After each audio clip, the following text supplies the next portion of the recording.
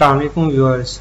आज की इस वीडियो में मैं आपको बताऊँगा how to composite Landsat image in ArcGIS इनके हम ArcGIS के अंदर जो डिफरेंट बैंड्स होते हैं, उनको इकट्ठा कैसे कर सकते हैं, जो डिफरेंट इमेजेस होती हैं, उनको कैसे इकट्ठा कर सकते हैं। तो जैसे कि मैंने लेक्चर नंबर टेन में आपको बताया था कि हम सेटेलाइट से इमेज डाउनलोड कैसे कर सकते हैं तो वो तो एक इमेज मैंने डाउनलोड कर ली हुई है तो उसके बारे में मैं आपको बताता हूँ कि वो जब इमेज डाउनलोड कर लेते हैं तो उसको हमने उसकी जो डिफरेंट लेयर्स होती हैं उनको इकट्ठा कैसे करना है। तो आज की आ, इस वीडियो का मकसद कि हम बैंड्स को इकट्ठा कैसे कर सकते हैं। तो चलें, वीडियो को स्टार्ट करते हैं, लेकिन उससे पहले अगर आप लोग मेरे चैनल पर नए हैं तो मेरे चैनल को सब्सक्राइब कर लें और नए बेल आइकन पर क्लिक कर लें, ताकि मज़ीद नई आने वाली वीडियोज़ का नोटिफिकेशन आपको मिलता रहे। और मेरे वीडियोस को ज़्यादा से ज़्यादा लाइक किया करें शेयर किया करें, और दूसरों तक भी ये पहुँचाया करें। चलें स्टार्ट करते हैं। जैसे कि मैंने बताया कि मैंने इमेज जो है टाइल जो है वो डाउनलोड कर ली हुई है। यहाँ पे अहमदाबाद में मैं आ जाता हूँ। यहाँ पे मैंने अपनी वो जो है प्रोजेक्ट से रिलेटेड कुछ टाइल्स डाउनलोड करके रखी थी 2010 ये जी, जब हम डाउनलोड करते हैं लैंडसेट की इमेज तो वो हमारे पास विन डायर की फॉर्म में इस तरह आ जाती है। ये हमारे पास आ जाती है। मैं इसको जो है कॉपी करके यहाँ जी के फोल्डर में यहाँ पेस्ट कर देता हूँ। ये हमारे पास यहाँ पे ये इमेज आ गया। अब हमने सबसे पहले इसको क्या करना होता है? एक्सट्रैक्ट करना होता है। कुछ लोग जब इसको एक्सट्रैक्ट करने लगते हैं तो ये डाउनलोड करते हैं तो ये बिल्कुल वाइट होती है। मतलब इमेज में कुछ ओपन नहीं होता। तो उनके लिए ये है कि सबसे पहले आप जो है विन ड्रायर विन ड्रायर का जो सॉफ्टवेयर है, वो इंस्टॉल कर लिया करें। फिर आपको कोई मसला नहीं बनेगा। सो आप लोगों ने क्या करना है? इसके ऊपर राइट क्लिक करना है।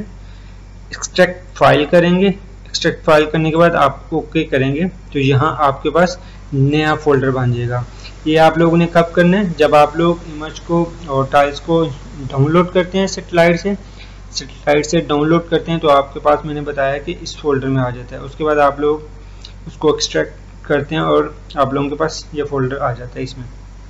अब यहाँ पे देखें मैंने लैंडसेट सेवन की इमेजेस लैंडसेट फोर फाइव की इमेजेस जो हैं, वो डाउनलोड की हैं। मैंने आपको पिछली वीडियोज़ में लैंडसेट फोर फाइव वन से लेके फाइव फोर फाइव और लैंडसेट सेवन और लैंड एट के बारे लैंडसेट एट के बारे में बता चुका हूँ।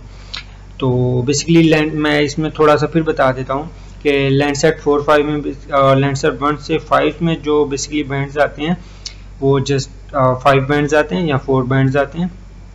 और जो हमारे पास लैंडसेट फोर फाइव और लैंडसेट सेवन होती है इसमें हमारे पास सेवन बैंड्स आते हैं या एट बैंड्स आते हैं। और हमारे पास जो लैंडसेट एट होती है इसमें हमारे पास अलेवन बैंड्स आते हैं। तो यहाँ पे आप देखें यह लिखा हुआ है भी one band one band two band three four five six और सेवन ये जो है ये एक्स्ट्रा होती है आप लोगों ने इसको छोड़ देना है। इस, इसको नज़रअंदाज कर देना आप लोग। ये सेवन बैंड है। अब ये अलहदा अलहदा इमेजेस हैं ये आप देखेंगे। तो ये हमारे पास अलहदा अलहदा आ रही हैं, सारी की सारी। हमने क्या करना है? इनको सातों बैंड्स को इकट्ठा करना है। वो कैसे करना है? हम आ जाएँगे आगे इसमें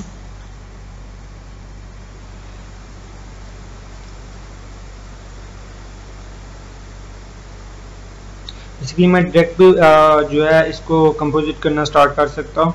लेकिन आपको बताने का मकसद होता है कि आपको पता होना चाहिए कि हम कर क्या रहे हैं और किस मकसद के लिए कर रहे हैं। तो इसलिए मैं थोड़ा सा आपको ब्रीफली थोड़ा सा समझाने की कोशिश करता हूँ। और क्योंकि बहुत से लोगों ने पिछली वीडियोज़ में कहा कि सर आप कोशिश किया करें कि जो है बिल्कुल स्टेप वाइज समझाया करें। क्योंकि अक्सर होता है कि हमें नहीं इन चीज़ों के बारे में पता होता। सो so, हमने आर को ओपन कर लिया। आर को ओपन करने के बाद हमने क्या करना है इसको कंपोजिट करना है। दो तरीके हैं इसको जो है कंपोजिट करने के तो फर्स्टली मैं आपको जो है मोस्ट यूज़ होने वाला जो तरीका है वो बताता हूँ पहले। उसके बाद सेकंड भी, इंशाल्लाह अगर वीडियो ज़्यादा लंबी ना हुई तो मैं इसी वीडियो में भी वो भी बता दूँगा। तो चलें स्टार्ट करते हैं। तो आप लोगों ने क्या करना है? सबसे पहले आप लोगों ने यहाँ पे सर्च का ऑप्शन देख लेना है। ये सर्च का ऑप्शन देख लेना है। यहाँ पे लिखें कंपो कंपोजिट बैंड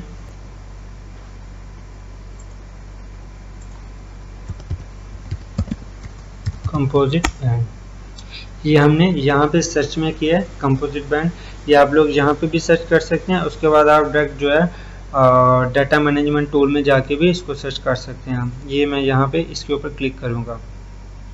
यहाँ से भी ओपन हो जाता है. उसके अलावा मैं आपको बता देता हूँ आर्ट टूल बॉक्स में अगर आप जाते हैं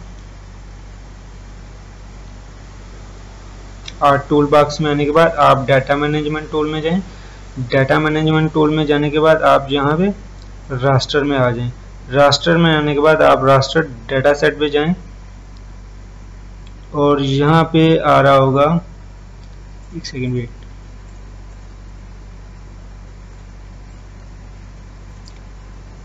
ये यहाँ पे रास्टर प्रोसेसिंग पे आना है। तो रास्टर प्रोसेसिंग पे यहाँ पे लिखा होता है कंपोजिट बैंड आप इसको यहाँ से भी ओपन कर सकते हैं। आप सर्च में से भी जा कर सकते हैं और यहाँ से भी कर सकते हैं।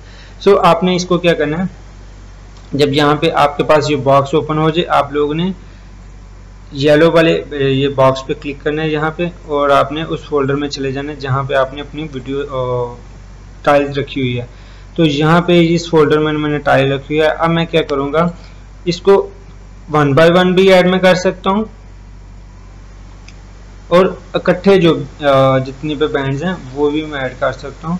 यहाँ पे फ़र्स्ट वाला तो मैंने ऐड कर दिया, अब बाकी जो है ऐड करने, आप यहाँ पे फ़र्स्ट पे क्लिक करें, उसके बाद यहाँ पे ला के आप शिफ्ट प्रेस करें, सारे सिलेक्ट हो जाएँगे, और उसके बाद आप ऐड कर दें तो ये सारे के सारे बैंड जो हैं, वो आपके ऐड हो गए अब यहाँ से आप देख सकते हैं band two band three four ये ऐड हो चुके हैं। अब जब आप लोगों ने ये ऐड कर लेने हैं, उसके बाद आप लोग इसको यहाँ से सिंपली ओके कर देंगे।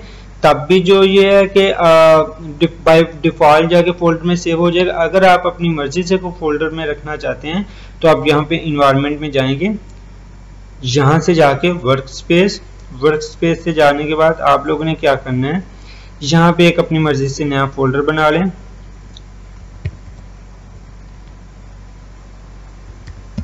कंपोजिट बैंड के नाम से बनाना है वो, वो बना लें। अब इसमें जाके आप इसके ऊपर क्लिक करें, जब आपने फोल्डर बना लिया क्लिक करें और ऐड कर दें। देन आप जहाँ पे भी आए इसके ऊपर क्लिक किया ऐड किया ओके करें। एंड देन ओके करेंगे तो ये हमारे जो है विद इन टू मिनट्स या विद इन वन मिनट्स जो आपकी जो इमेज है, वो साथ मिलके आ जाएँगी कंपोजिट हो जाएँगी। इसमें टाइम लग सकते हैं, आपके दो मिनट भी लग सकते हैं, तीन मिनट भी लग सकते हैं, ये डिपेंड करता है आपके सिस्टम के ऊपर। अब ये तो हो गया एक तरीका। ये तो पीछे बैक में हो रहा है। जब हो जाता है तो आपके सामने आ जाता है। सेकंड तरीका भी मैं आपको बता देता हूँ कि वो आपने कैसे करना है। उसके लिए मैं आपको बता देता हूँ। सबसे पहले आपने ऐड डाटा में आना है। ऐड डाटा में आने के बाद आप लोग जो है सात के सात बैंड जो हैं, उनको इकट्ठे सेलेक्ट करें और यहाँ पे ऐड कर दें। यहाँ पे वो यस यस कहेगा आप करते जाएँ।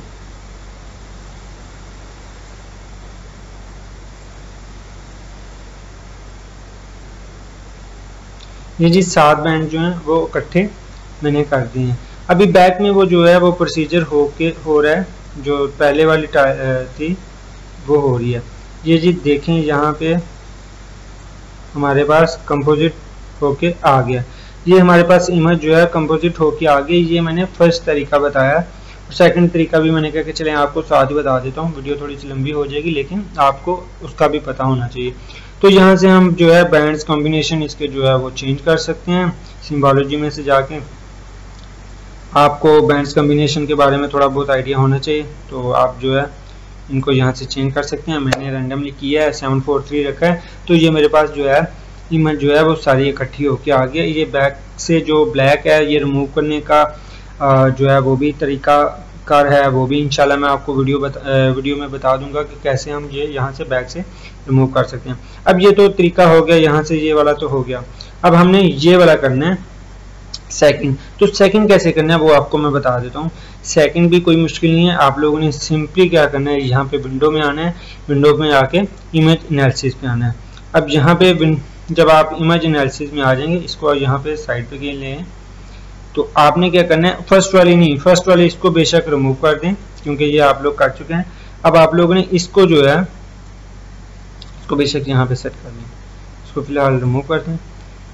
तो ये फ़र्स्ट जो है, आपने यहाँ से ये सिलेक्ट करना है, और वही मैंने बताया शिफ्ट दबा के आप लास्ट वाले पे प्रेस करें तो सारे यहाँ पे हो जाएँगे। अब जब आपने सात के सात बैंड्स को सिलेक्ट कर लिया, उसके बाद आप यहाँ पे नीचे आएँगे तो यहाँ पे लिखा होगा कंपोजिट बैंड आप इसके ऊपर क्लिक करेंगे तो ये आपकी इमेज जो है, यहाँ से भी कंपोजिट हो जाएगी।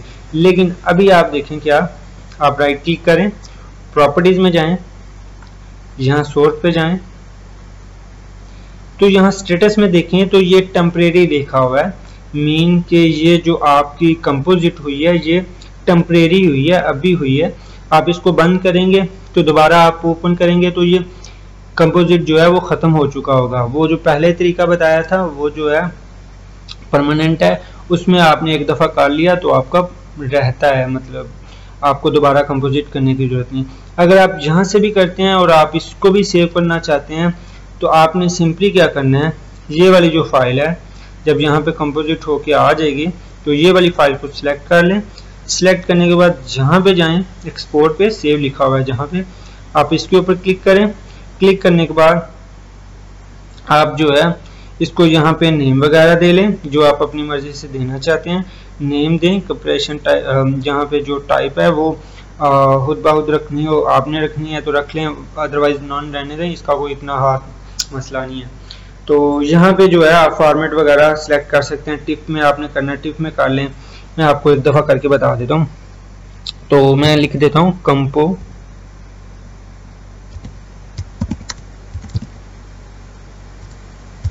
न्यू के नाम से लिख दिया।